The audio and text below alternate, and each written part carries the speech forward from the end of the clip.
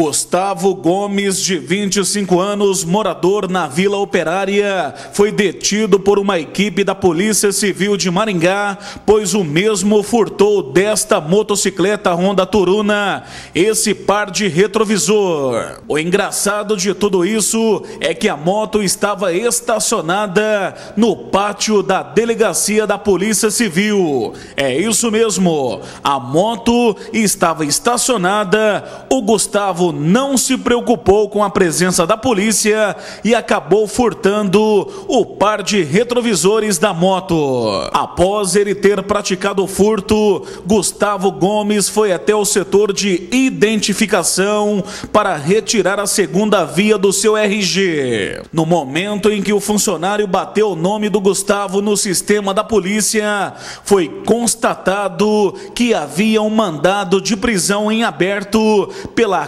quarta vara criminal do Fórum da cidade.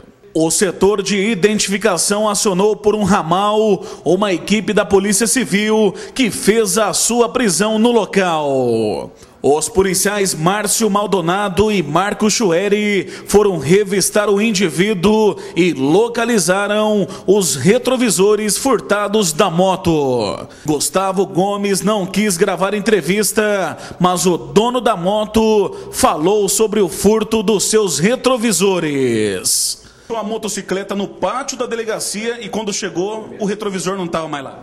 É, eu deixei dentro do pátio. Aí, quando eu fui chegando perto da moto, senti falta do retrovisor da moto. Daí eu fui para minha senhora e falei, roubaram o retrovisor da moto. Daí o que, que você fez na sequência? Aí eu peguei, daí eu falei, mas como que eu vou embora agora sem retrovisor, né? Daí eu fiquei pensando, daí eu, eu fui aqui no orelhão dar uma telefonada, aí um policial falou para mim que tinha pegado o rapaz, tinha roubado o retrovisor. Uma sorte, né? Seus retrovisores foram localizados pela Polícia Civil.